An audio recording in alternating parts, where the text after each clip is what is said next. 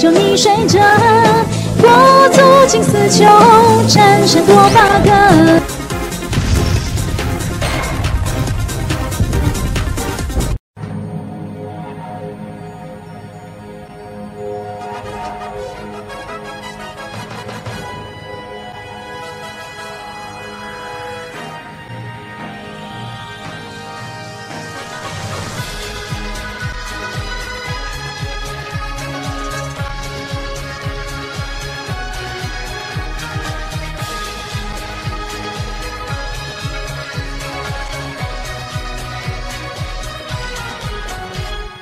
中国男足的历史再沉淀一天，亚洲杯前的热身赢巴勒斯坦，国足开门红，赢得最惊险，一大爆强是逆转胜吉尔斯坦，再次对战菲律宾三比零过门，小组连胜中国队高调的出现，透明争夺战交锋与呐喊。国足零比二落败，接连吃黄汤。十六强赛，中国队遇昔日遇难，泰国队的破门，国足慌乱。下半场的中国队整个球员换，二比一的获胜有惊无险。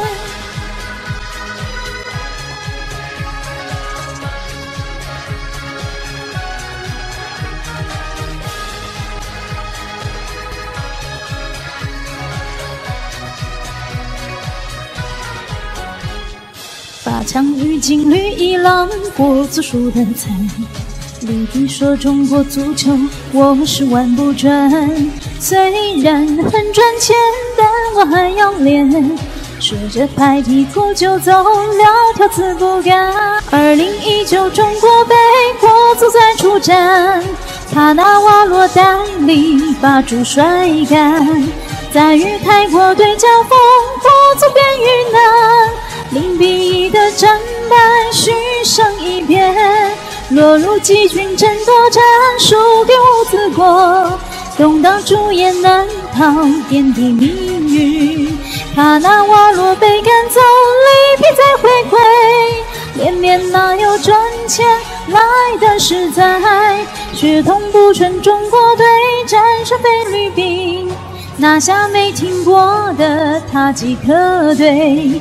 世预赛或开门红，五比零破门，国足七比零分横扫关岛，零比零平菲律宾，国足被骂惨，终结四十五年全胜之战，再次输给叙利亚，里皮再拜拜，你别再对中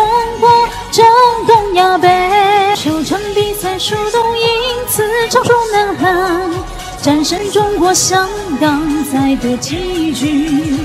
二零二零疫情期一度的拖延，如今中国男足在踏征程，中国男足在踏世与征程。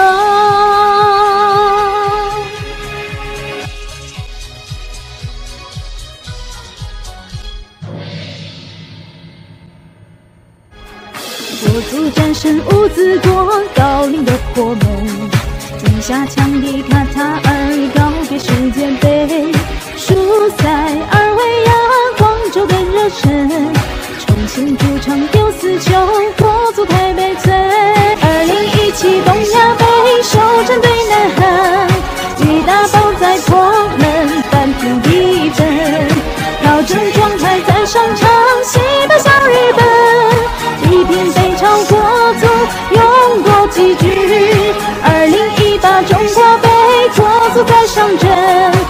六球输为二十，悲不悲催？对阵捷克最无语，开场就进球，一比四的结果令人汗颜。亚洲杯前，中国队在球场上前。保送十六强要充满信心，尾段信心足协招遇南队热身，战胜缅甸队中有先胜人，球场上不会停球，